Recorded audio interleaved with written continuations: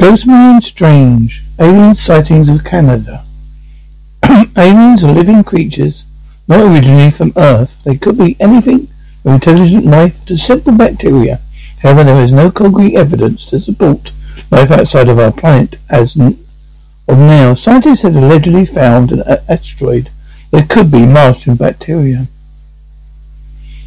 1967 Falcon Lake Manitoba incident. Stephen Michalak was burned by one of the two flying of which he reportedly came into contact on May 19, 1967 in Falcon Lake, Manitoba. 1967 Shahag Harbour, Nova Scotia, Scotia incident. Shahag Harbour incident. The incident was reported crash of unidentified flying object in Shahag uh, Harbour, Nova Scotia, Scotia in October 1967. 1969, Prince George BC UFO. In Prince George, British Columbia, three underrated witness reported a strange round object in the late afternoon sky on January 1st, 1969. Spear radiated a yellow orange light and appeared to ascend from 2,000 to 10,000 feet. 1975 to 1976, Southern Manitoba. Charles Red Stars. Several incidents were reported by of a red glowing UFO, sometimes described as mis- mischievous or playful, sighted in southern Manitoba in 1975 and 1976. 1978, Clara, Clarenville, Newfoundland and Labrador.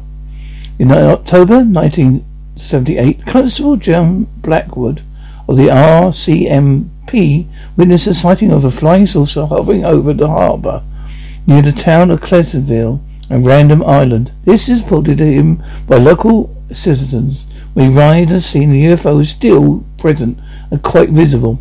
He had a huge, special high-powered viewing scope which happened to be on loan at a time from other, for other surveillance.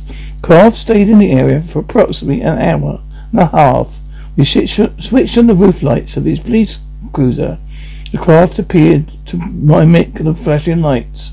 This made headline news at the time and was broadcast on CBC television and NTV broadcasting Newfoundland. The craft took off like a shooting star high in the sky and disappeared. Two years after the incident, BBC did a documentary on UFO sightings included the Clarenville sighting that they broadcast in later years. Constable Blackwood retired to his native home in Stellarton, NS. 1990 Montreal aerial phenomena. November 7th, 1990, in Montreal, Quebec, witnesses reported a round metallic object of about 540 meters wide, a rooftop pole of Adventure Hotel. Eyewitnesses saw Eight to ten lights forming into the circle from above them, emitting light white, emitting bright white rays. The phenomena lasted three hours, from seven to ten p.m., and moved slowly northwards.